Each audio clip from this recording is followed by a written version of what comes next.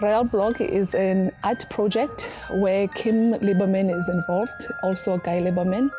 We have taken pictures of people who are staying in Royal Block and also that are encouraging and working together with the project itself. And Kim has made that into silhouettes that we have placed on the walls.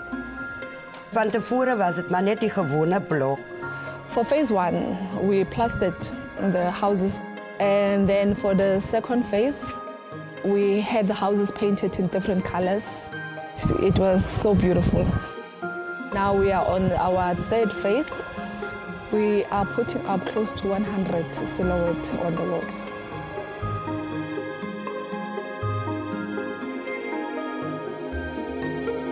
What I find interesting about this specific project and uh, with uh, Kim's approach is that you're actually drawing figures of people that actually originate here, people that stay around here. It's really interesting to to see people recognizing themselves in silhouettes.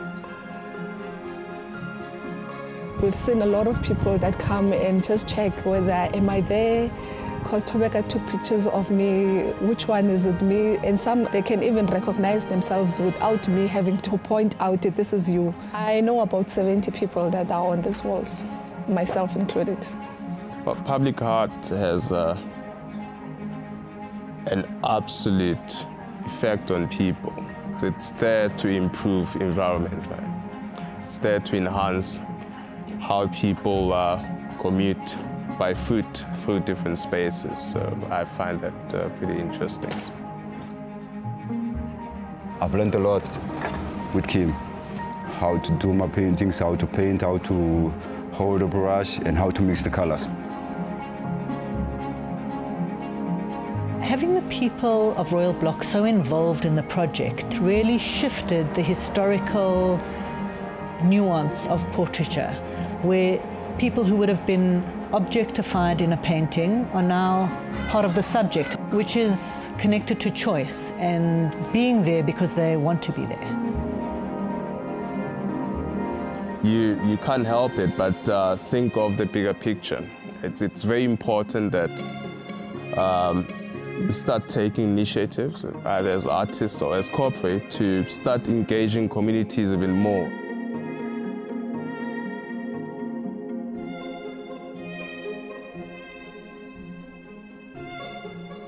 Very beautiful. Dis eintlik die grootste geskenk wat ek kan sê wat ons ooit al gekry het. So many different sectors of South African society have kind of converged, right? First of all, it's in this it's in this pocket of poverty in the middle of the Karoo, and corporate got behind it, and artists. It's been a very moving and positive experience for me.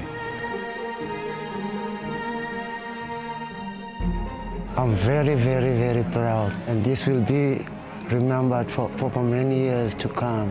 And I'll tell my children about these paintings